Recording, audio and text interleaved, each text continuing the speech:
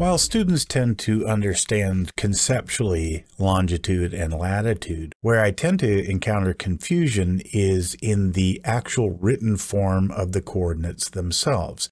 So let's take a look at how we do that. There are two major forms of latitude and longitude coordinates. The first we refer to as DMS, which stands for degrees, minutes, and seconds.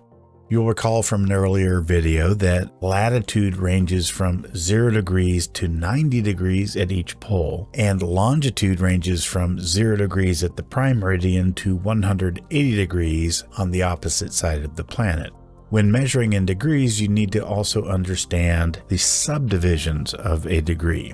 There are 60 minutes in one degree, and there are 60 seconds in one minute. Therefore, a half of a degree is 30 minutes, a half of a minute is 30 seconds.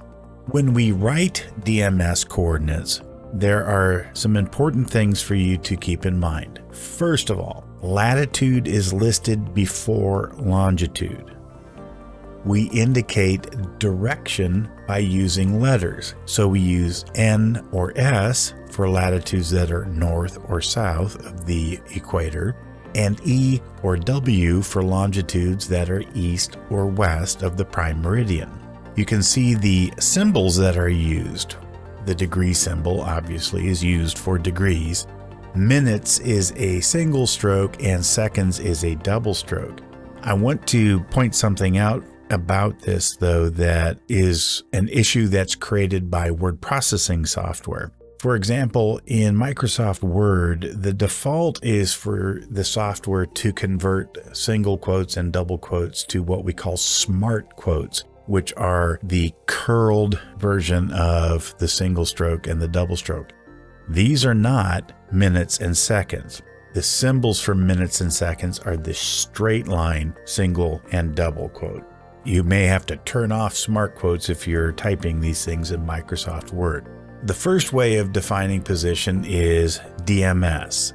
The second way is decimal degrees or DD. There are some differences between decimal degrees and DMS. First of all, longitude is listed before latitude in this, so this is the opposite of DMS.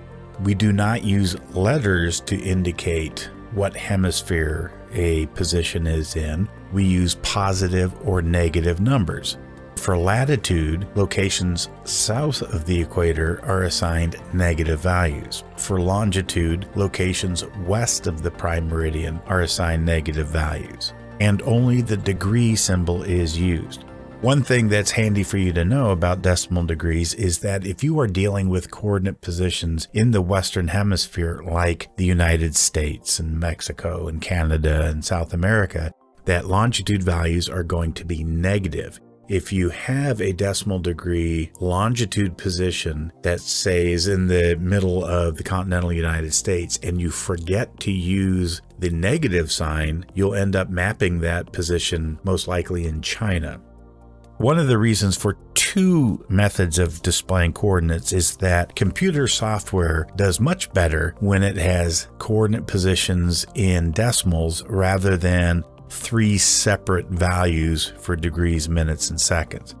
As we saw with Cartesian coordinates, positive and negative values are easy to deal with as well. So let's look at converting DMS coordinate position to decimal degrees. Here we have the McDonough County Courthouse located in western Illinois. The process of converting DMS to decimal degrees is this. A decimal degree is the degrees plus the minutes divided by 60 plus the seconds divided by 3,600. Why? Because there are 60 seconds in a minute, and if there's 60 minutes in a degree, then 60 times 60 is 3,600. The coordinate position for the courthouse is 40 degrees, 27 minutes, 31.68 seconds north, 90 degrees, 40 minutes, and 16.32 seconds west. So let's convert this to decimal degrees. We'll start with latitude. Decimal degrees is our degrees of our position plus minutes divided by 60 plus seconds divided by 3600 which is 40 27 divided by 60 31.69 divided by 3600 which gives us 40 plus 0.45 plus 0.0088 the latitude for the courthouse is going to be 40.4588. Because we are in the northern hemisphere, the value is positive. We'll do the longitude the same way. So 90 plus 40 minutes divided by 60 plus 16.32 seconds divided by 3600, which gives us 90 plus 0.67 plus 0.0012 so the longitude position for the courthouse is 90.6712 degrees. Because the courthouse is in the western hemisphere, it has a negative value. So here they are next to each other. In DMS, we have latitude first, 40 degrees, 27 minutes, 31.68 seconds north, 90 degrees, 40 minutes, 16.32 seconds west.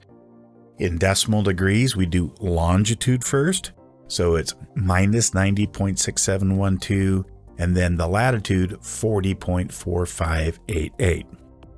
Another thing that's useful to do is understand the relationship between longitude and time, which I will address in the next video.